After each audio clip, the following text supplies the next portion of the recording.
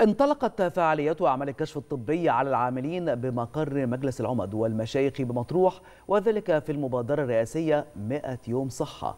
تهدف المبادرة الرئاسية 100 يوم صحة إلى التوسع في تقديم خدمات مبادرات الصحة العامة.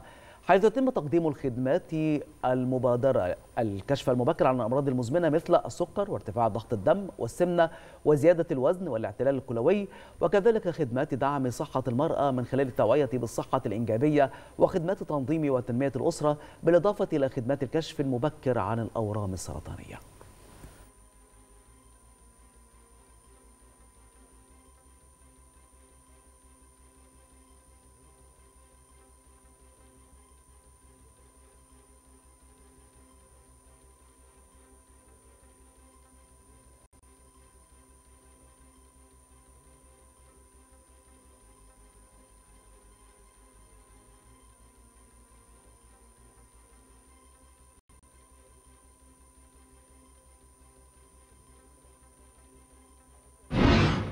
ال100 يوم صحة دي مبادرة رئاسية تستهدف صحة المواطنين المصريين.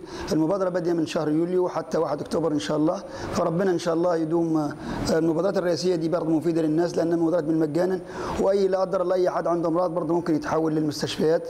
ونتمنى المزيد من بنقدم الخدمة في محافظة مطروح من خلال فرق ثابتة وفرق متحركة. ما يقرب من 24 فريق ثابت و18 فريق متحرك بنجوب بيهم مختلف القرى والمراكز والنجوع والتجمعات السكريه بمحافظة مطروح لتقديم الخدمات الطبية وخدمات المبادرات لجميع الأشخاص والأفراد.